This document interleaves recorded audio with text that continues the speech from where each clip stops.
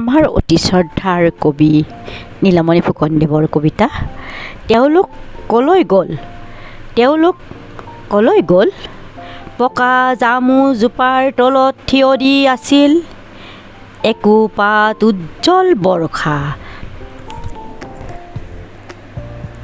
আন্ধাৰৰ আস্তাবলত তেওঁলোকৰ ঘোঁৰাবোৰ বান্ধোতে ৰ'ল।